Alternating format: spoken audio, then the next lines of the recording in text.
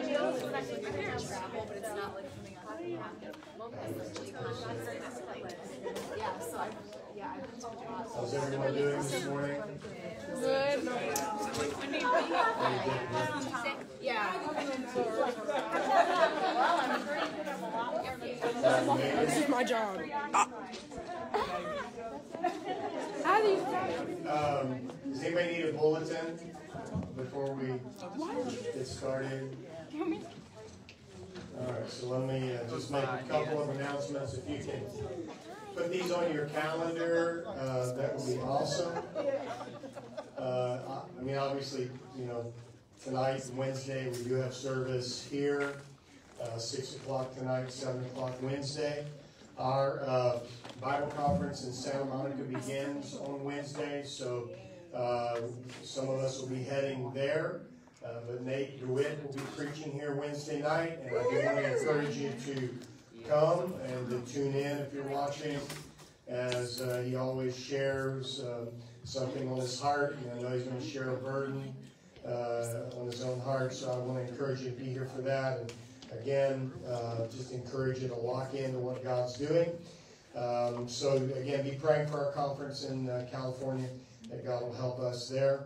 Uh, also, next Sunday morning, Aaron's going to be ministering, and so again, I encourage you to uh, just lock in. Uh, how many of you know that Jesus is here? Yes, sir. No matter who's preaching, Right. Right. and uh, so we come here for Him. And so I do encourage you to uh, be a part of what God's doing here. And uh, then next Sunday night, if you can uh, just um, note this, next Sunday night we're having church on the street. And so we're going to be going out to Davis Park and uh, working on a permit for that. Uh, but even if we don't get a permit, we're going there. Uh, sometimes uh, you just you can turn the phone off for a minute. No, just kidding. We, we ask for forgiveness if we don't get permission. Uh, so uh, that's been our life so many times on the street. Uh, because honestly, uh, the government loves us because we help the homeless situation, we help the gang problem, we help the drug problem, Amen. uh, because we bring an answer. Yes. And um, so uh, they just don't know it all the time. And so they, they get slow on the permits sometimes. Um, but they really are for us. I believe that. And they, they, want, uh, they want people helped.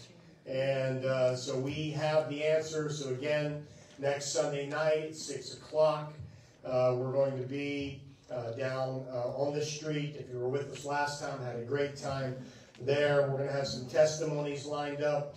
Uh, if you would like to share your testimony uh, there, uh, then just please let me know or let Aaron know. Uh, I'm actually not going to be there. Aaron is going to be, and Nate are going to be running it, and also we'll have some other churches involved as well. So really excited. I really believe this, uh, church, and you know, I'm not a unity at all costs type of a pastor. I've never been that way. Unity, we just got to have unity. Throw away everything you believe, and uh, I'm not that. But I do believe that there is a unity that the world needs to see right now in the church. Yes, sir. Yes. Yes. Uh, there's a unity that people, the church, has to get on the same page. Yes, And the, the page that we get on is it's called the Bible. It's not called denomination. It's not called Right, your right. opinion or my opinion or the Bible opinion or the or excuse me the some preacher's opinion. It is the Bible. Right. We've got to get on the same page. I, I felt this probably a couple weeks ago when we were uh, downtown. I thought, we've got, if, if the church can't get on the same page, how's the world going to get on our page? True. It's true. And so I know this has been a common problem throughout at least all the years of my salvation.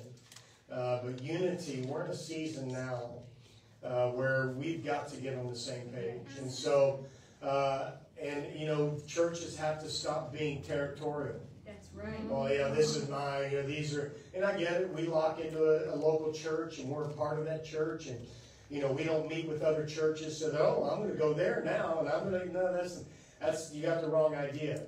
You know, we God calls us into specific bodies, Right. but or into specific local bodies, but we come together as one body. Uh-huh. And so um, we really need to begin to pray into that. Uh, enough of the disunity, enough of the discord, enough of the division. Uh, again, for the sake of the world that's looking at, for they're looking for something. They don't know what they're looking for. You know, look- they're looking for a cure, right? That's They're looking for a leader. Uh, but the church uh, has to have a voice in that. And so I want to encourage you, you know, anytime we're going to go down on the streets, I'm always reaching out to other pastors and saying, hey, we're going to be down there if you guys want to join us, if you don't have a Sunday night service. And so uh, I want to encourage you to uh, be a part of that.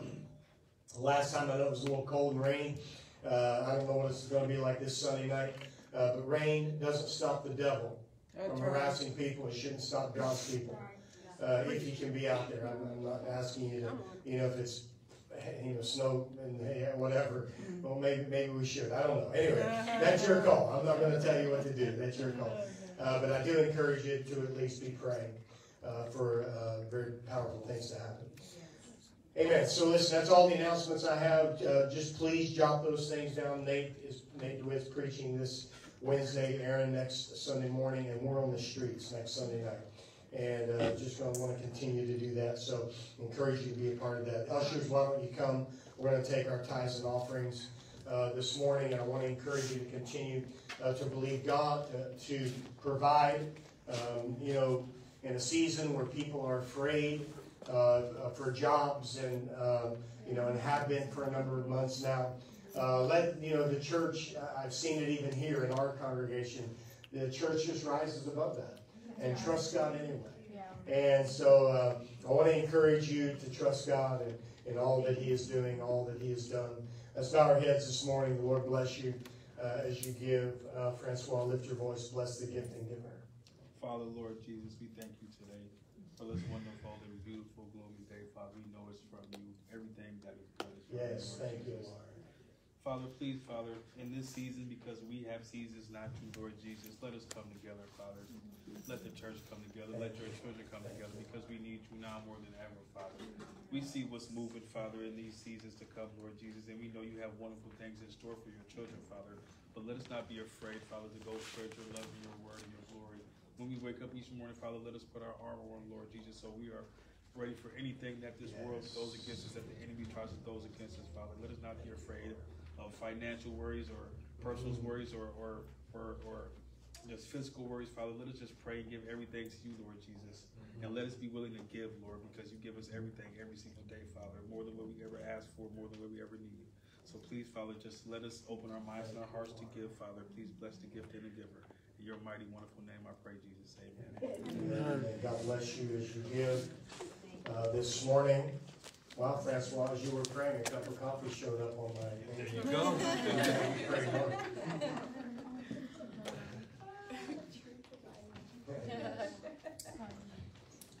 Um,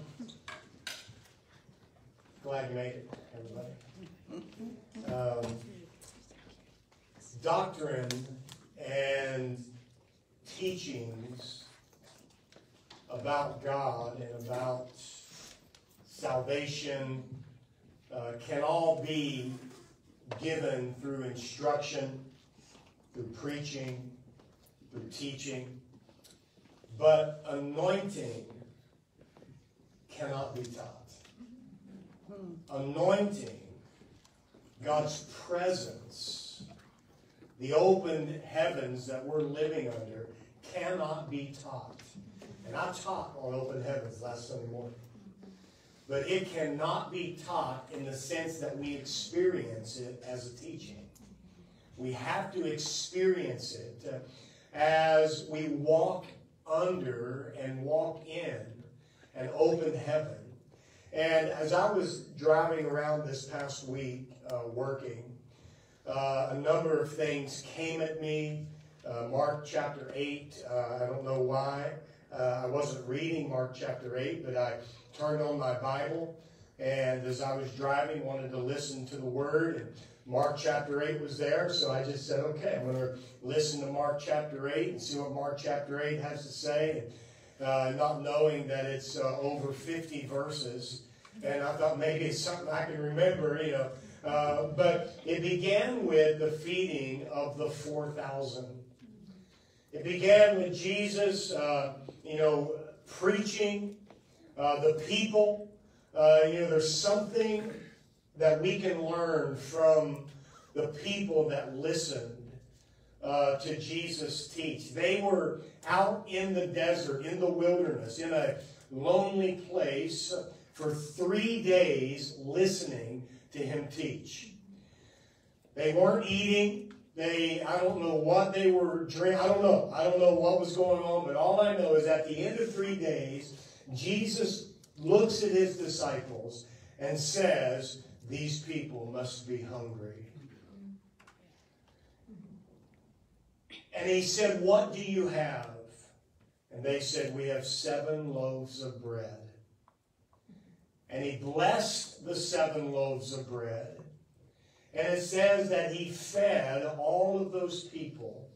It's, it's interesting. We have another story of him feeding 5,000 on five loaves and a couple fish. And here it said that he had seven loaves, and it said, and there were also a few fish there. So he takes the bread and the fish and he blesses them. Listen, that's the anointing. That's the anointing. That's the blessing of God. That's the presence of God. It's not something, you can't teach that. You can't teach how much God wants to bless, how much He wants to use, how committed He is to meeting every one of our needs. It's an amazing scripture according to His riches and glory. So I began to read and or listen. I, I don't read while I'm driving generally, but I was listening uh, while I was driving, um, and it began with the feeding of the four thousand, and then the disciples get. It's, it's interesting. I told Kim. I said I don't know how this could play in our church service, but it said that Jesus preached for three days. They listened. They were there. He, he looked at them and he said they've got to be hungry. He fed them. And then immediately after he fed them, it says he sent them home. You know, I'm like, for me, I'd be like, okay, y'all eat, y'all eaten now. Let's go again. Right. Another three days. You know, but but there's something about the blessing of the gospel. There's something about that message. And I, I don't know again how that's going to work in uh, to us as a congregation. If we just need to be able to eat together after each service and go home, if we need to have some, I don't know, break bread, I don't know. But it, it hit me, and I thought, Lord, you, you fed them spiritually, then you fed them physically, and then you sent them home to rest. And then, you know, the, I can't go into all the verses, but I want to I want to look at um, today uh, the issue of faith. I'm going to talk about Noah here in just a moment. But Psalms chapter 119, uh, three verses this week jumped out at me as I was uh, driving around. Psalms 119, verse 11. It says, I have hidden your word in my heart that I might not sin against you. You know, I preached a series about the Word of God, the power of the Word. I might revisit that series at some point. But I thought about this verse, and it seemed like to me, I thought, I, it seems like I've talked about this verse recently. Uh, but what I'm finding is that the, the more things are put on my heart, the more I find repeating myself. But here, uh, the psalmist is telling us. I want you to. I want us to get. If we if we never got another verse out of the Bible, if we never understood another verse out of the thousands of verses in the Bible, this verse we need to get it. I have hidden your word in my heart that I might not sin against you. I mean, isn't that the goal? Isn't that kind of the, the object? You know, the idea? Isn't that the big idea? that we would walk in the power of the Spirit, cleansed by the blood, not sinning against God. And, and you know, not get it, we can all immediately say, well, we all sin and stumble, and the Bible says we stumble in many ways. But let me give you a verse that can maybe bring this in context for you, because immediately when I read this, uh, I see I have hidden your word in my heart. Uh, I have tucked it away. I have put it in a place uh, in my life. I've hidden it uh, so that no one can take it away. But then it says that I might not sin against you. And immediately I think, isn't all sin against God? What is it talking about? And so I read Psalm chapter 19, verse 13. This has always been one of my favorite verses. We actually used to sing it in a song uh, back in, in, when dinosaurs roamed the earth. Um, but it says, Keep back your servant from willing sin. Let them not have, I don't know if this is how this translation reads, but the song says, Let them not have dominion over me. Then shall I be upright and innocent from great transgression. Keep back your servant from willing sin. Here's the issue. This is the issue. I've hidden your word in my heart that I might not sin against you. And here the psalmist is telling us in Psalm 19, David is crying out, Lord, if there's anything that you keep me from, keep me from willfully disobeying you. Keep me from willfully, knowingly sinning, disobeying, disregarding. See, that's what the Word of God does. You think, well, I can do that. I can. I, you can't do that. It's impossible for mankind to not willfully sin against God. Why? Because we, God, His character, He is so perfect, He is so upright, He is so righteous that we do things that is willingly sinning against Him, but we don't even know it. Why? Because His Word is not in us. I have hidden your word in my heart. How important is His word? It is so important that it can keep you, it can empower you from sinning against Him. You store up. Hiding His word in your heart keeps an awareness of His presence in your life. Hiding His word in your heart keeps an awareness of His voice speaking to you. Listen, I'm telling you, there's an awareness that we, God's people, must have in our lives that we are not asking God at any moment to, to go in the closet and hide so that we can do our own thing.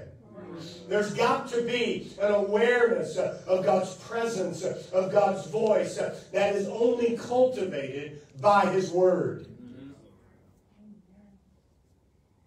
Psalm 119, verse 114. You are my refuge and my shield. Your word is the source of my hope. Your word is the river. Your word is the wellspring. Your word, I'm telling you today, watching here in this building, if you are without hope, you are without the word. If there is a hopelessness in our generation, it is because there is a deficiency of God's Word. If there's a hopelessness in the people of God, it's because there's an absence of His Word.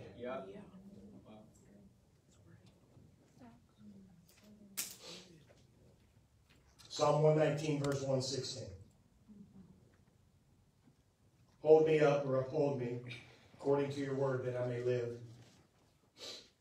And do not let me be ashamed of my hope.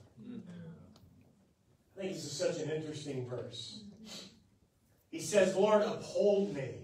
Hold me up according to your word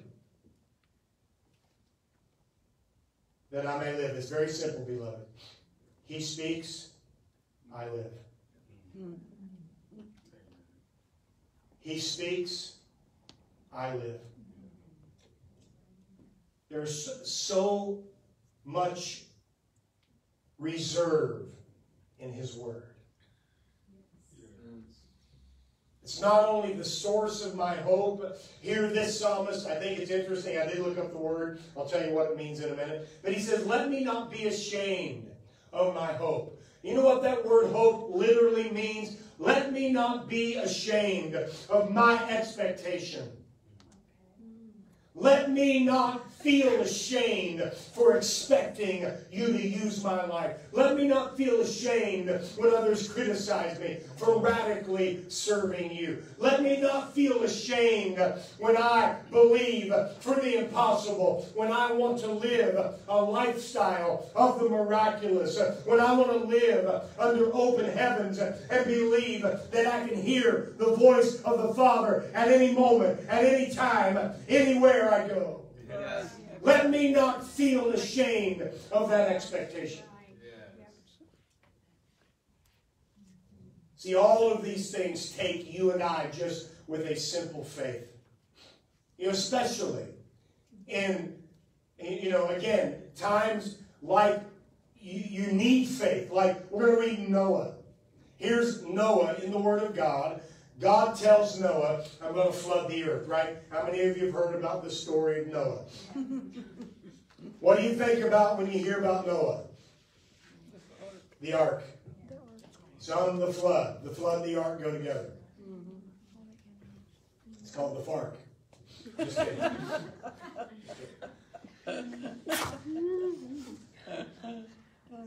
See, Noah was in a place, and this is where we find the tension. He was in a place where he had to believe God. We do not like that place. No. We like to know answers. We like to know direction. We like we would like to know what's going to happen tomorrow. Right. We would like that. But we wouldn't need faith. We wouldn't need to believe. And faith simply means maybe you're in a situation right now, whether it's physically, emotionally, uh, relationally, uh, whether it's financially, or any of the other leads. Right? You have to believe God. Maybe you failed. Maybe you've fallen short. Uh, uh, you've sinned. Uh, you've walked away. You need to come back to His grace. Uh, His arms are wide open, by the way. If you want to come back, you are welcome today, baby. You are welcome to come back. But maybe you need that in your life. You must believe. You must have faith. You know what's amazing is God has never failed. He has never walked away. He has never let anyone down.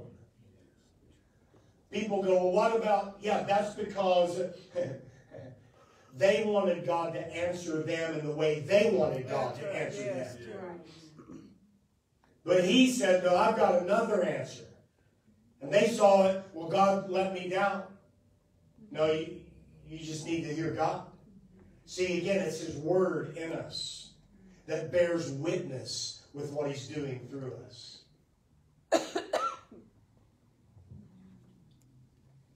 you know, the lesson of Noah gives us the faithfulness of his work, the promise of the word and just how flexible God is in working his grace on the earth. Let me give you a couple facts about Noah. Uh, some of you know these. I've mentioned these before in time past, but I want to just mention them again. Uh, if you don't know this, it took Noah about 70 years to build the ark. Wow. If you didn't know this, by the way, uh, some scholars actually believe, based on scripture, that Noah was between 10 and 14 feet tall. Oh, wow. See, we have Noah, like, that's how we read the Bible. We read it through our filter. Like he just he's just like us. Well, you know, some a lot of scholars believe that the apostle Paul was four foot nine. Yeah, wow. That's short. But we have him like this big giant, Right. you know, Samson, big muscles. Most scholars believe he was just a skinny guy anointed by God with supernatural strength. We have him as, you know, Tony Atlas when nobody remembers him. Uh, the Hulk. How about that? Is that Yeah. Right. Mm. Yeah. That's, you know, but uh, because we filter everything through modern day. So here's Noah, you know, big man, building, ar- building an ark for 70 years. Noah spent 364 days on the ark. He had three sons when he was 500 years old. Mm-hmm. So he started building the ark. It was, it was, it was finished when he was 600 years old. So his sons had gotten married during somewhere between he was 500 and 600. The ark was, I don't know any other way to say it, it was a football field and a half long. A football field and a half. Mm. So 150 yards. Let me just tell you this. He did not just build the ark for him and his, you know, that his family, his wife, his three sons, and their wives. He didn't build it. You know who he built it for? The world. That's right. Oh, wow. Come on. See, God doesn't discriminate. God provides for the world. Yeah, that's right. I better just leave it at that or I'm going to get in trouble. One scholar uh, says that the ark uh, could have held up to 2.5 million sheep. That's how big the ark is. The ark didn't have a steering wheel because God was its guide. You know, the ark, I, you know, it's funny uh, that when uh, the, the church was formed uh, in the New Testament, it's interesting that God didn't call the church the ark. Because that's exactly what the church is. The church is a place where God better lead. He better speak. He better guide. The, the ark is a safe place. The ark is a place uh, where you can come uh, and, and, and be shielded from the ways of the world. You can be shielded from, you know, temptation, uh, and you can be shielded from the flood waters. Uh, This is a place uh, of, of rest. This is a place, the church. Yeah. That may not be your experience, but that's what the church should be. Right. Yeah. The ark. Noah, he died, he was a little bit older, but he died at 950 years old. Hmm. You can do the math, that's 350 years after the flood. Wow. There's plenty of scripture on Noah. I think the, I think the the danger of Noah and Samson and Jonah and Daniel in the lion's den is that they become kid stories, mm-hmm. And we miss the power of the truth in these stories, in these men's lives. Daniel in the lion's den probably was more rated PG-13 than a cartoon. Right. But we miss, and I'm afraid that the, the truths and the power and, and, and the protection and, and the provision. 364 days on the ark.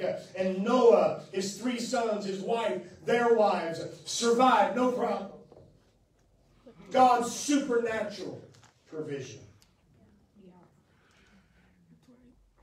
Genesis 6 through 9, you can read about Noah and his family. If you ask God, of course, we would say we recognize the ark or the flood when it comes to Noah. If you ask God what he thought about Noah, if he were to put Noah's life into words, he would probably use words like obedient, faithful, resilient, righteous. The Bible does say he was a righteous herald or preacher of the word.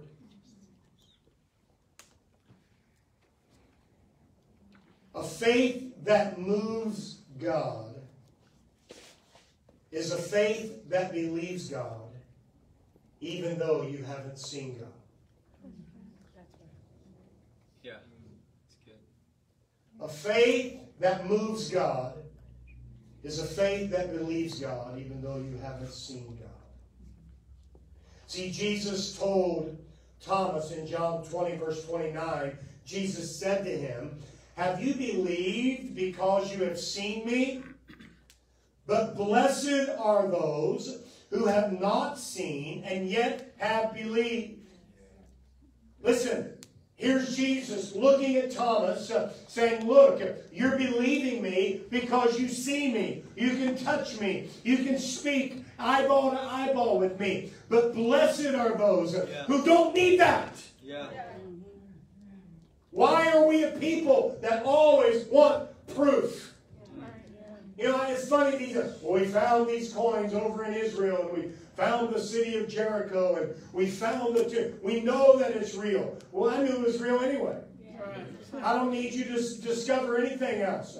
I don't need archaeologists to go over and, you know, tell me that somehow now we know the Bible is true. We are a people that desire proof. I think it's important for us to understand that we are not only, or that we are really only getting a snapshot of what Noah was dealing with in his generation. It's just a quick picture of what Noah was dealing with. Hebrews 11, verse 7.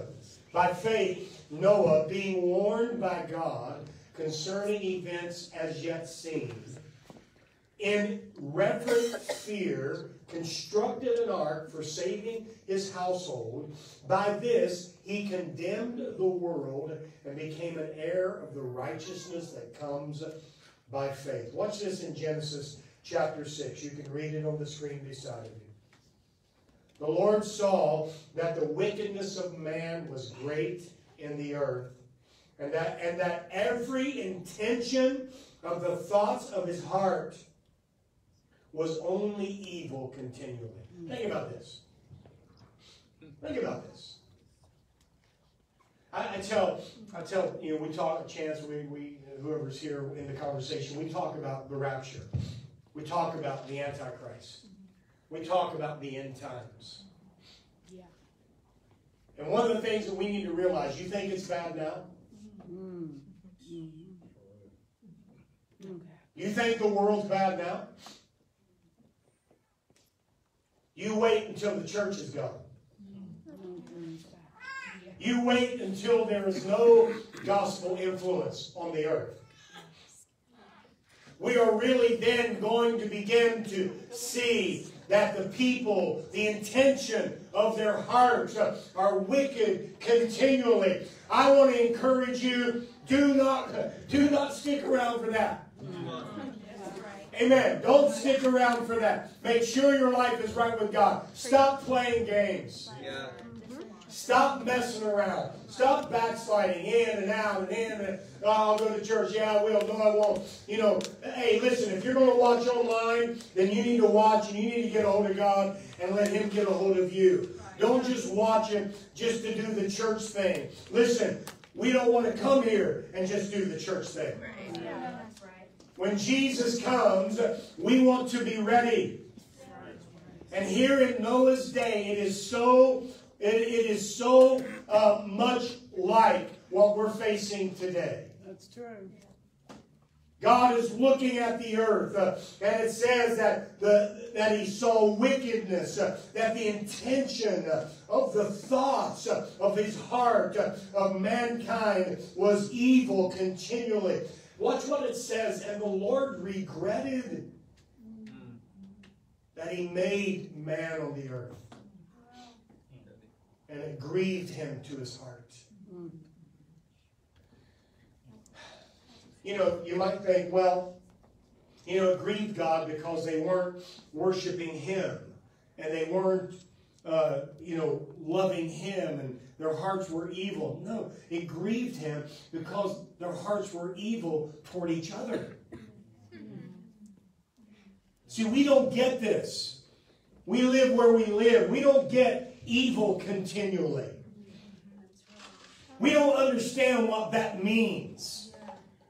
You know, when people say, "Oh, there's everybody's good, everybody's good," uh, you know, uh, you know, everybody's, you know, it's it's it, people don't get this reality that the hearts of man was evil continually. That's what it's like without the gospel. And God regretted, it, it grieved him, it hurt him that he saw the way people were treating each other. So the Lord said, starting over. I'm starting over. I will blot out man whom I've created from the face of the land, man and animals, creeping birds, thing, creeping things and birds of the heavens, for I am sorry that I have made them. You hearing the heart of God here? But Noah found favor in the eyes of the Lord. These are the generations of Noah. Noah was a righteous man, blameless in his generation. Noah walked with God. And Noah had three sons, Shem, Ham, and Japheth. Now the earth was corrupt in God's sight, and the earth was filled with violence. I want to just talk about a couple of things. I want to, I want to talk about the release because the Bible says, by faith, Noah was warned in a dream, or warned at least by God concerning the events that hadn't happened yet. And so, in reverent fear, he made an ark to save his household.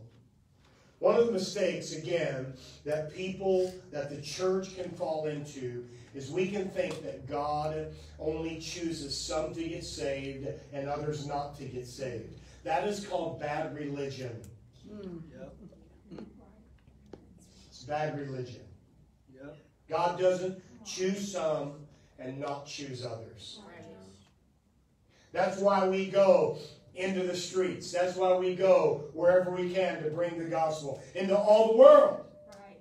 Isn't that the mandate? All the world to preach the gospel.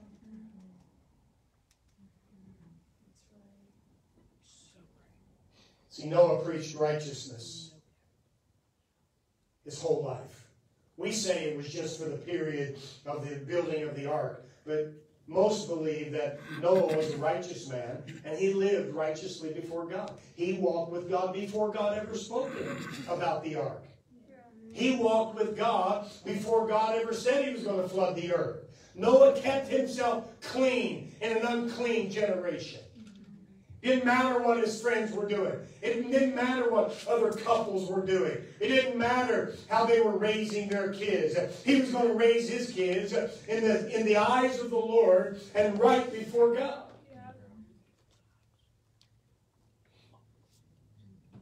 But for 75 years, he's building an ark. He's building a boat, right? He's building a boat mm-hmm. in a world where it has never rained. Mm-hmm. See, this is at the beginning of, of, of mankind. This is Genesis chapter 6. It had never rained on the earth, never rained. And here Noah is saying God is going to flood the earth with rain. And they're looking at him like he's crazy. I mean, he is 500 years old. He probably didn't look all that, you know, you know, Hollywood. So they're probably looking at him, saying, You've been preaching the same thing for all these years, and now you're going to tell us that God's judging us.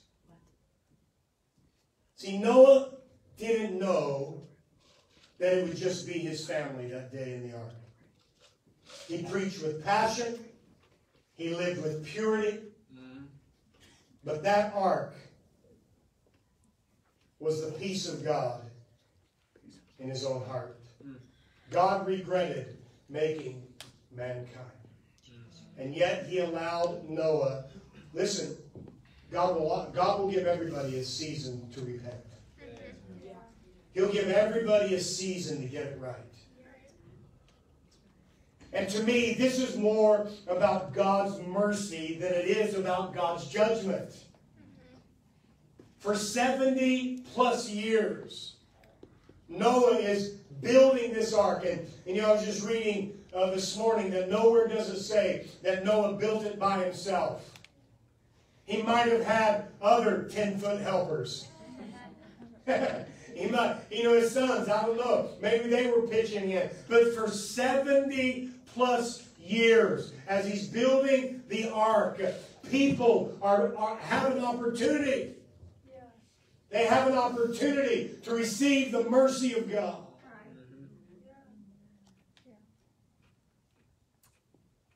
What will it take? 1 Peter 3.20, because they formerly did not obey when God's patience waited in the days of Noah while the ark was being prepared, in which a few, that is, eight persons, were brought safely through the water. God patiently waited. See, this is about God's mercy. It's not about the flood. It's not about everybody dying. And you know that the Word of God doesn't, you know, move. You know, if you ever see any cartoons or movies about Noah, you know, this, you know, the people and they're they're drowning in the flood and yada yada. But listen, this is more about God's mercy. He wants His mercy to be alive in us. He wants us to experience His mercy over our lives. Do not waste your time on the things of this world uh, separated from God's mercy. And I read this and I'm like, Noah, you know, I always thought it was a little longer. I always thought it was like 100 years. Because, you know, he started building, you know, at a certain time and he ended when he was 600. So my math. But what they say is that he had about 75 years as he's building the ark inviting people in.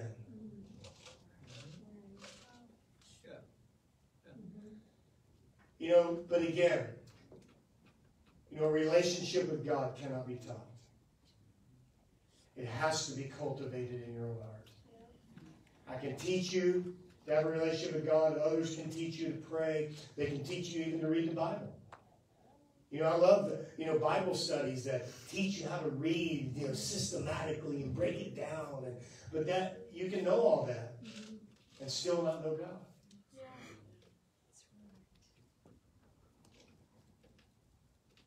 Are we building a life with God that can influence our culture? Are we building a life with God that could influence? And let me just say this that ark did not have a lot of beauty that people will go, wow, I want to go to that church. I want to go to that ark. They got the best worship. They got the best children's church. They got the best preaching. They've got the best this. They've got the nicest that. You know, when people are desperate, they just go where their needs are met. You know, most of you probably drive by four, five, six, seven churches before you get here. And those churches are fine. They're good churches. But God has called you to a place. And God has met your need in a place. He has met you in a place.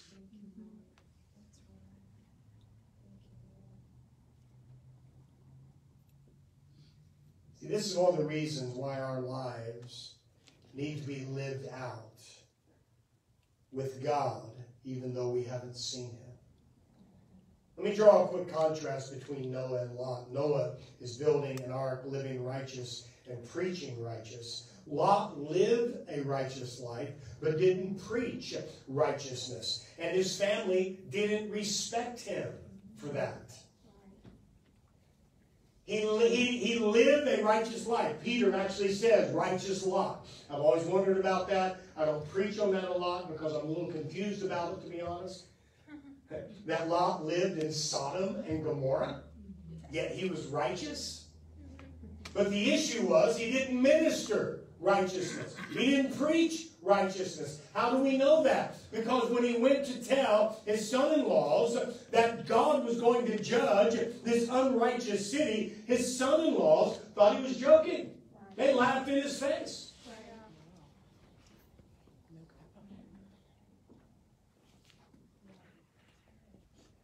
So Lot went out and said to his sons-in-laws, sons-in-law, who were to marry his daughters, up, get out of this place, for the Lord is about to destroy the city. But he seemed to his son-in-law to be joking. You know what this speaks to me is that Lot's son-in-laws were hearing this warning for the first time. They were hearing that Sodom and Gomorrah was a bad place for the first time. They watched Lot live there year after year, raise his daughters there, and even giving his daughters to be married to men that were raised up in Sodom and Gomorrah. What changed? What changed was God cared more about Lot's family than he did.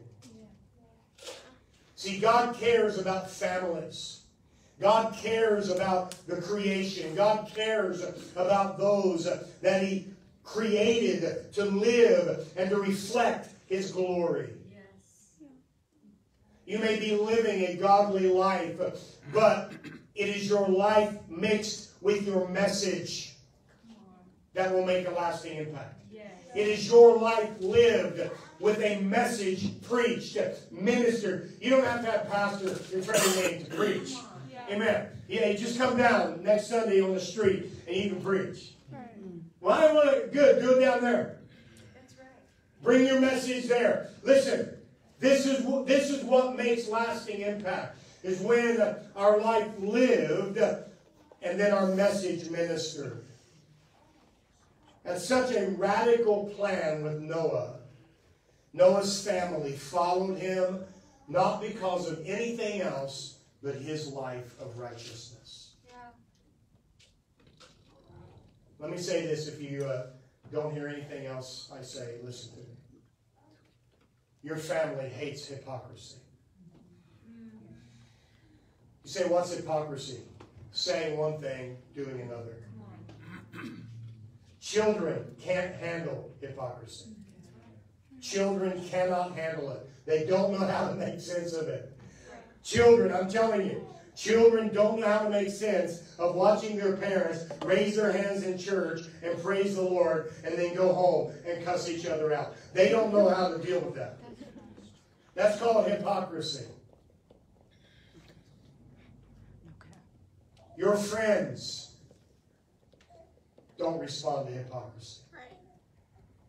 God doesn't respond to it. So there was a release that happened of God's presence on the earth as Noah obeyed. Listen to me. There is a release that of God's presence on the earth that happened when Noah obeyed God and began to build that ark. God said, I am welcomed. Mm. I am welcomed on the earth by this even one man. Right. I don't need the masses. I need the one. Yes. Is there one that will believe me? Is there one that will obey me? Is there one that will live radical for me? Is there one? Yeah. And we all know the one, the Billy Graham. You know, we all know the one, you know, the Reinhard Bonnke. We all know the one who rose up and said, I will obey. I will be faithful. I will commit my life, not just a month, a week, a year, three years. I will commit my life to this. Yes. See, and Noah by his obedience, and this is where I believe the church fits into this story, is by our obedience, by our faithfulness, there is a release of God's presence on the earth. He says, I am welcome. Yes, very good. God is looking to and fro, the Bible says, to a people whose hearts are fully set on Him. And He's looking so that He can reveal His presence. He can reveal the atmosphere of His anointing. Yes. But it takes a people of faith, a people that we don't need proof. We don't need all of the evidence. Right. You know, I love Josh McDowell's book, Evidence, that demands a verdict. Mm-hmm. Because, see, he made up his mind that God wasn't real. He made up his mind that God was a fake, that Jesus was a phony. But he was such an intellectual that he said, I have to find out for myself. And he flew to Israel and began to dig and do archaeology and begin to dig and find all of these things. For him, he journaled all of it. And he said, This is evidence. And you better make a choice. But see, we shouldn't be a people of evidence. We should be a people of faith. The Bible doesn't say that we walk by evidence. We walk by faith. We walk by faith. You haven't seen God use your life radically, but you can believe Him that He will. You haven't seen God set you free or heal your physical body, but you can believe God that He will. It's believing a radical faith and open heaven that God is going to move. Amen. That's right. See, again, that the release is God's presence on the earth through the obedience of Noah, through the obedience of his people. Yes. I mean, God wants to express himself through his church. Yes. Let's talk about the unseen for a minute, being warned by God concerning events not yet seen. There were a lot of things Noah had not seen that God revealed to him. He'd never seen a flood. He'd never seen God's judgment. Some who study this carefully wonder if he had ever seen rain. He definitely had never seen a boat like this one that he was called to build. Right. Why do we need all of the, you know, all of the answers up front? Why do we need all? Why do we need the blueprint? We just got to see it. God just says, "Build it. I'll show you as you go. Just live your life. Obey me. I'll just show you as you go." Uh, again, here's Noah. God speaks to him about things that had never happened, and Noah says, "Listen, he didn't even have anything." I've got the word on my tablet. I've got it on my phone. I've got Bibles in my house. I've got a Bible around here somewhere. Physical. He had nothing. This is Genesis chapter 6. He didn't even have Genesis. He'd have nothing. We have everything. And the preacher still preaches like he's got to convince people. And we have everything. We have His Word. We have the Messiah. We have the blood, the cross, Holy Ghost. We've got everything.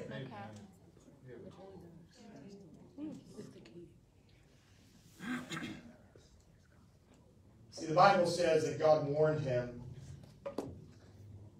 This word warned means to show or to exhibit or to teach. This wasn't just a short little chat that God had with Noah, but it was detailed instructions. And listen, if you read Genesis 6 through 9, you're going to see that God gave him very detailed instructions on building the ark, the dimensions of the ark. God knew exactly what he was going to do. You know, again, Noah, Noah doesn't know. Listen, again, we don't don't skip ahead in the Bible. Noah doesn't know that it's only going to be him and his family. He doesn't know. He's like, wow, we're building this thing. Man, we would be going mass revival, man. Everybody getting saved. Man, this thing is massive, man. Woo! We're going to have a church service tonight. Well, in 75 years when I finish. We're going to have a church service. People are going to come and respond to the message of righteousness. 75 years later, no one responds. And God says, okay, just go get the animals. Animals don't argue. How did he get the animals? God did it for him, so don't worry about that. All of the animals come, fill up this ark, and then the Bible says that God shuts the door. God shut the. What God told Noah was that he was going to judge the entire planet. And he told Noah, Noah, you're going to have to judge it too. You're going to have to make some judgments too. For your own sake, so that you don't fall into the temptations, that you're just a crazy man, mm-hmm. you know, believing some flood theory, some judgment idea, building some boat. You know, you're just building it for you and your family. You know, you just want to go camping every now and then. No, you've got to judge some things yourself.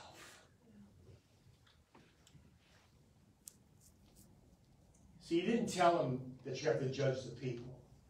That's never our job. But you're going to have to judge some things. Yeah.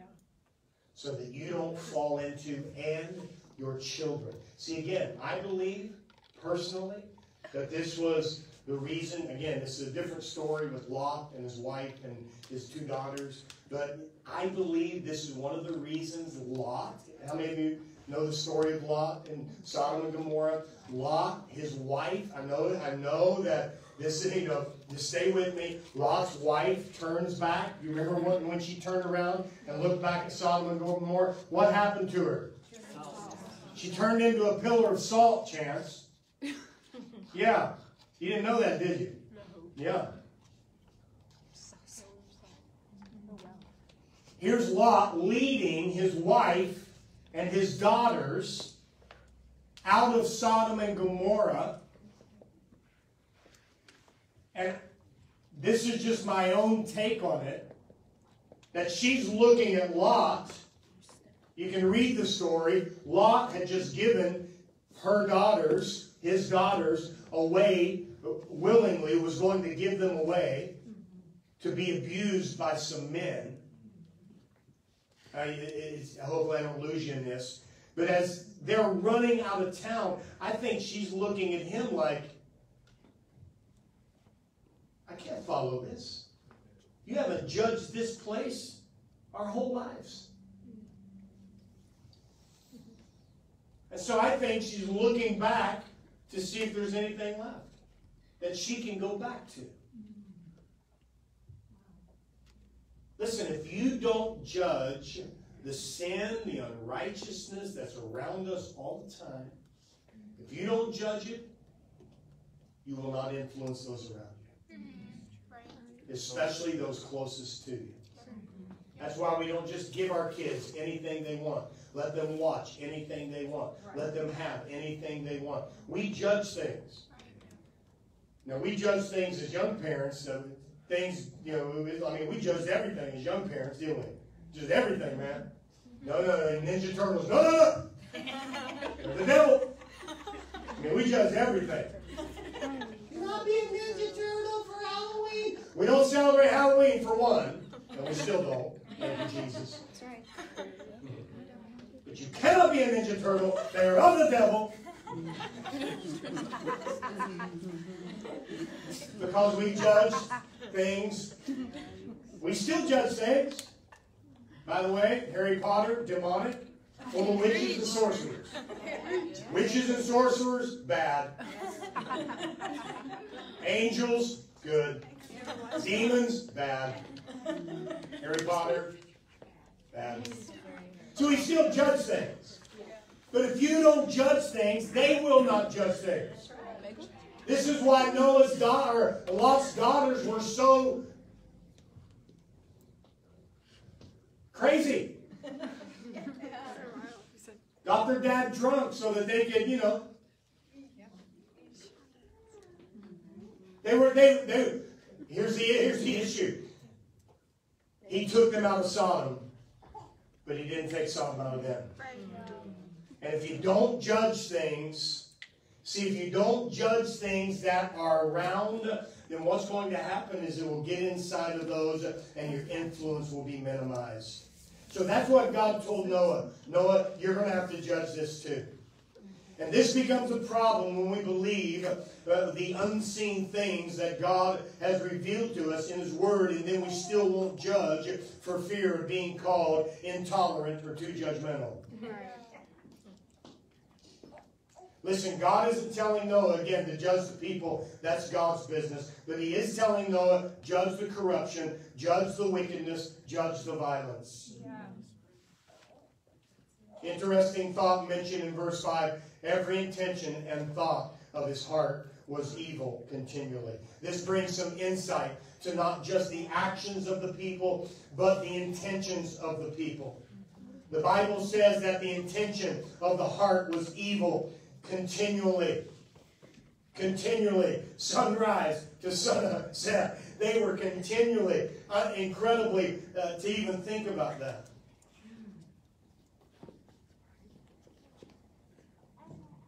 This is why we need the Word of God to saturate our lives. Yes. For the Word of God is living and active, sharper than a two-edged sword, piercing the division of soul and spirit, joints and of marrow, discerning the thoughts and intentions of our heart. I'm telling you right now, everybody, listen, if you want to make it uh, uh, and, and, be aware of God's presence, uh, be an influence, uh, moving, and I believe God wants this for every Christian, not just people who preach, not just That's people right. who sing, but He wants the anointing to flow Yes. through every one of His children. Yes. Every one of us is going to flow from His Word in us. Yes.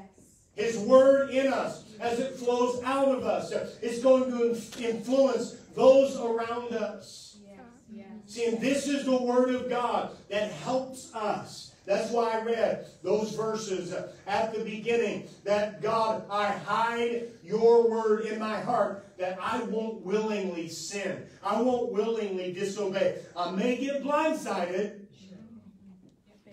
I may get caught off guard, but I will not willingly walk away. I will not willingly disobey. I will not willingly sin. His word is our power. His word getting in us. I believe that we need to fall deeply, deeply in love with His word. This brings out the unseen, the faith in our lives.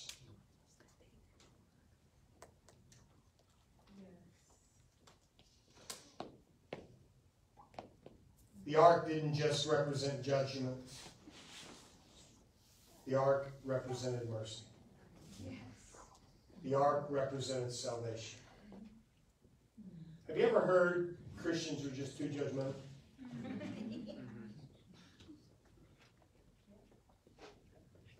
Yeah, I don't know if that's because we are, or if it's because of the Word, that the Bible, you know, is righteousness and the, the Word of God is pure and, and the Word of God speaks clear. I, I don't know why people feel that. But that should never be our intention, Yeah. that we are judging people. Are we judging issues? You better. Right. Through the Word of God. See, the message of the ark is mercy. Yes. This here is a place where people can find mercy. Yes. The church is a place where people can find grace. This is the place, the ark. I think we'll just change the name of our church. Is that all right? ARK. Capital A, capital R, capital K. That's an acronym. Somebody, uh, you know, somebody find a name that we can, you know, we'll just change it off. The ark. It's what we are. Where it's a place where people can find Jesus. Yeah. Amen. Amen. You know it's hard, you know as well as I do, it is difficult in the world that we live in, in the workplace, uh, to find a Christian witness. I don't know, many of you work with believers. Uh, I don't meet a lot of believers when I'm out. Uh, oh, of course, I wear my John 3.16 mask, and you know, everybody loves John 3.16, you know. And so, oh, I love your mask, I love your mask. Uh, but I don't know how much there's a Christian witness around us. It is difficult. Listen, the church has to be easy for people to come in and find Christ and find salvation and find love. The church has to be an atmosphere of God's presence that people can come in and not feel like an outcast. Right. Come on. They can come in and feel like I'm at home. I'm here. I'm, I'm in. That's the ark. See, again, it's not just judgment, it is mercy. Yes.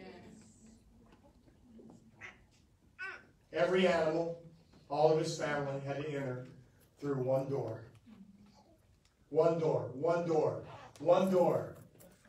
The giraffes, the elephants, the birds, one door. Salvation, one door. We can't change that. We don't have the right to change that. There are many methods. There's one message. And the message is about God's mercy. The message is about His love, His salvation. Please do not mistake Noah's ark for God's judgment only. Yes, there was judgment, but yes, there was mercy. Let's be a people of mercy. Let's be a people that will just listen. I get it. You look at some folks and it's like, can they really be saved? Can they really be helped? Can they really, you know, receive the Lord? Can they re- are they even in their right mind? Listen, that is not our business. Our business isn't to cast that judgment. Our business is to go and give them the hope of Jesus Christ, the mercy, the ark. Come in and receive and be and be shielded from the waves and the storms of, of this life. And even if the waves do hit you, listen, you have somebody to hold on to. Yes. Yeah. This morning to close. Like Noah's generation, not everyone is going to realize their need for your message. But what mattered was that Noah realized it. Yeah. And he stayed faithful. He continued. He was steadfast. And at the end of the day, yeah, it was him, his three sons, his wife, and their wives. And the animals, two by two. Yeah. That was the end of the day. But listen, he didn't know that. Yeah. He didn't. It's like, I'm going after everybody. Yeah. I'm just going to preach and, I, and listen, just give your life to this. Please don't make a three month commitment. Don't make a three year commitment. Just make your commitment. I am in this, uh, as we say, I am in it to win it. I am here until I die. I am in this until I die and I go to see Jesus. I am in this. I am not going anywhere. Yeah. We need to make our choice, make our decision. See, this is what Noah did. Even though it was so radical what he was doing, he made a choice. I'm in this, man. I ain't going nowhere. God said build the ark, I'm building.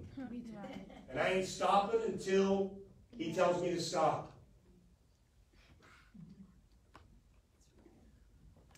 See, we will re- we'll release something when we do this. We will release something that is so, yes, it's unseen, but it's not unfelt. So I want to encourage you live your life. This is amazing faith. This is amazing faith that Noah moved in. He walked in, he lived in. This is the mantle of faith that I encourage each of us to walk in. By faith, you are devoted to his will. By faith, you declare the message of righteousness to whoever will listen. And listen, if they don't listen, keep keep preaching. keep going. Don't quit. Keep doing what God has called us to do as, as His people. Listen, hopefully this made some sense to you as I, again, driving around, just gathered some thoughts together. I wanted to try to communicate as much as I could. Uh, but anyway, we're going to pray uh, this morning, and I do pray that uh, you would allow God to minister to you. You would allow Him to touch you this morning. He speaks, I live. You know, Jesus said this Man shall not live by bread alone, but by every word that proceeds from the mouth of God. He speaks, I live. Let's let Him put some life in us today. Let's let Him put some life. Yeah.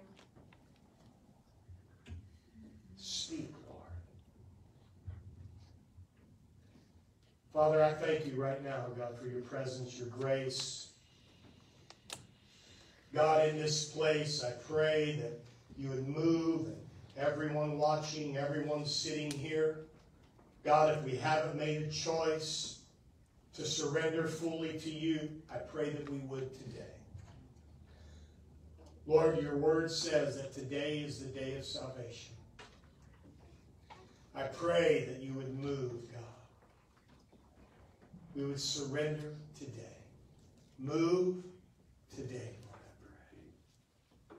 Maybe you're here and you want to rededicate your life to the Lord. Maybe you're watching. You want to rededicate your life to Jesus. I want you to slip your hand up, put it down just real quick so we can pray this morning all over this place. Slip your hand up. Yes, that's me. Pray for me. God bless you. Anyone else, just quickly. Maybe you're watching. You want to receive the Lord. You want to dedicate your life. I want us to pray this morning. All over this assembly here, if that's you, you slip your hand up, put it down. Listen, you lifted your hands to pray. I want to, I want to pray this prayer with you. I want you to say, Jesus, thank you for your love for me. Thank you for your mercy in my life. I ask you to forgive me from sin, live in me all the days of my life. Thank you, Jesus, that you gave it all so that I could live. Thank you, Jesus. Lord, I pray for God, everyone that prayed this prayer, I pray, Lord, that you would move, you would flood them, God. Let them know that they have just stepped into the ark of your salvation. God, I pray you would let them see it, God. Let them know it, Lord. Let them walk in it, God, all the days of their lives.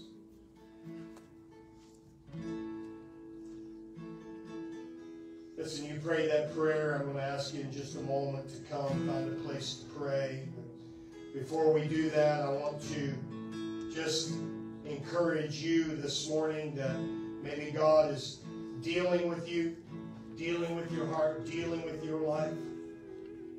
That you need to get your heart right and say, God, I want to be that witness. God, I want to be that influence. God, I want to experience your mercy in my life. We're going to open these altars up, up this morning, and I want to encourage you to come, find a place to pray.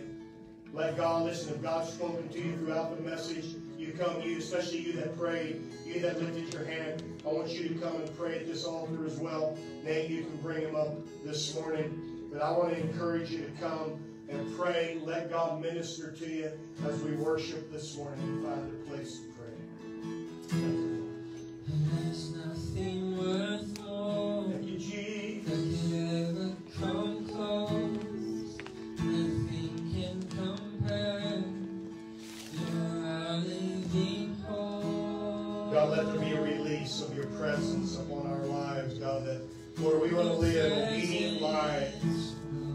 Lord, let us, God, I pray, every altar call, Lord, let there be a, a birthing, God, of your word, of the love of your word. In us, God, I pray. God, you do a work, Lord. This is a work that only you can do.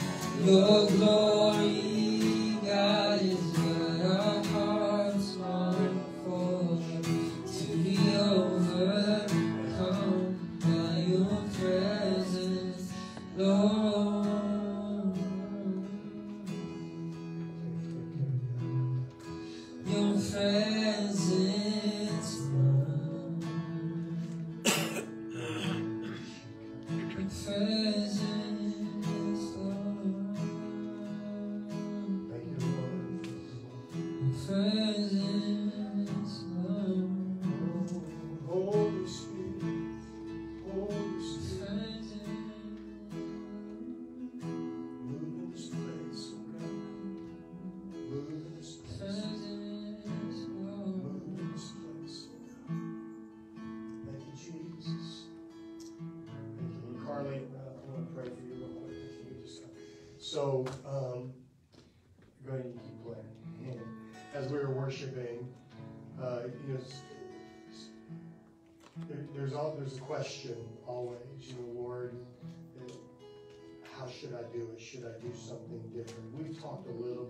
this, but I, I really just feel like in my spirit that there's a there's um,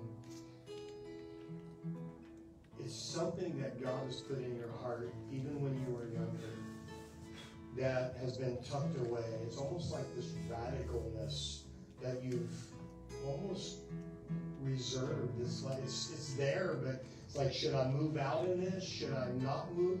Move out in this? I don't know if this is making any sense. This is just what I feel. Yeah. But it's but, but it's almost been it's almost been bordered in. You know, and um, and it, it's almost too like you you almost feel, feel like you can't like be yourself. Like this this is who I am, and um, but it's almost been um, the word that I'm looking for is like it's almost been pinned in where you don't feel like you can because of, of, of borders or, or, things that have been put around you.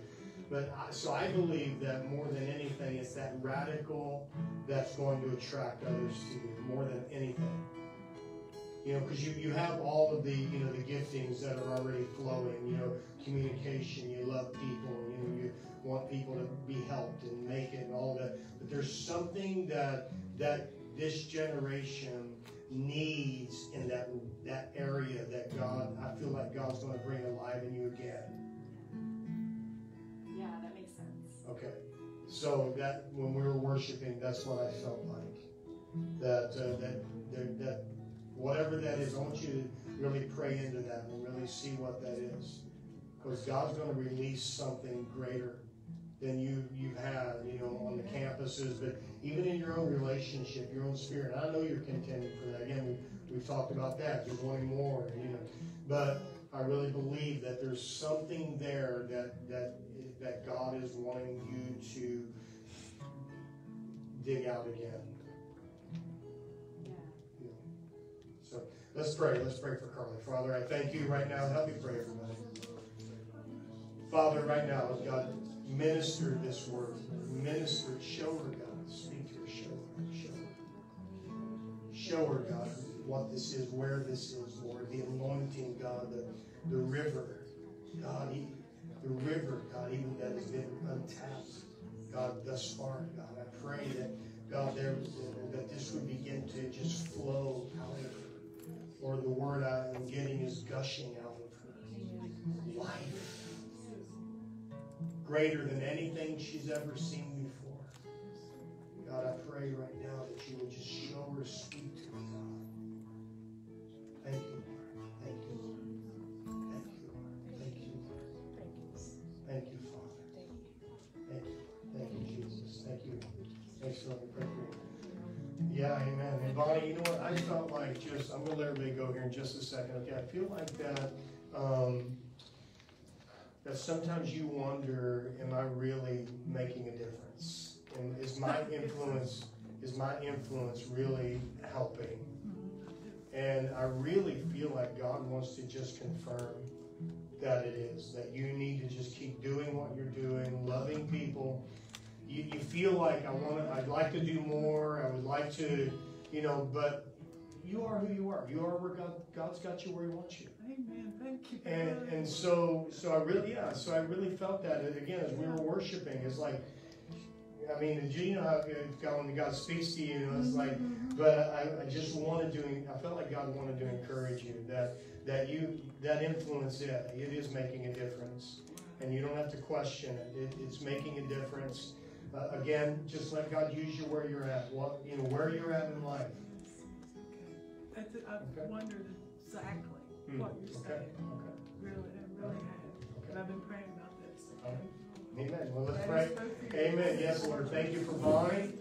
Lord, thank you for Johnny. Lord, thank you for this precious couple. God, I pray that, Lord, you would just minister this word.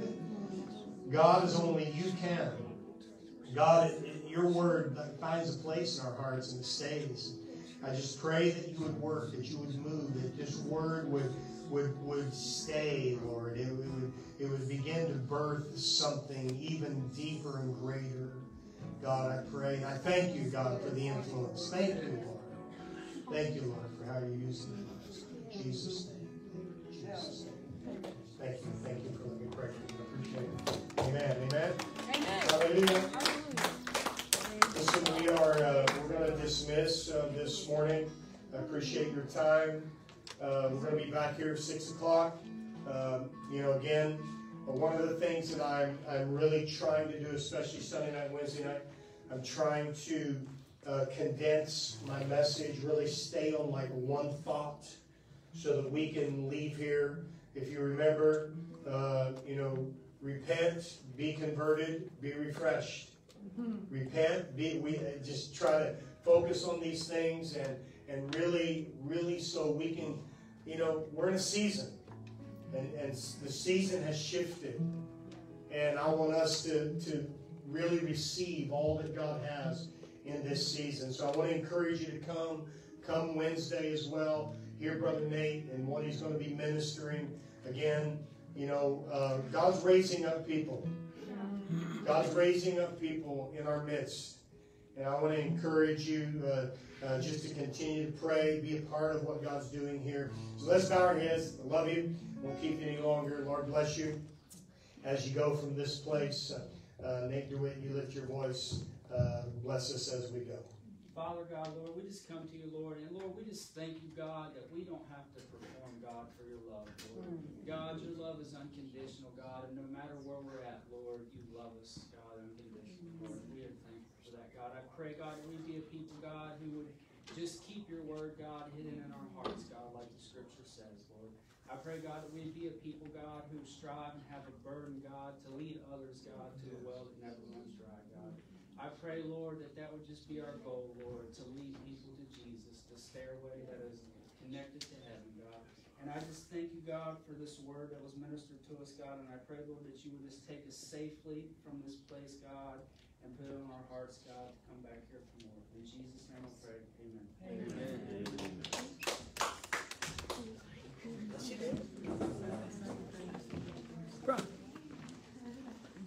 same thing. Oh, I forgot. No, don't do it. Don't do it. Don't do it.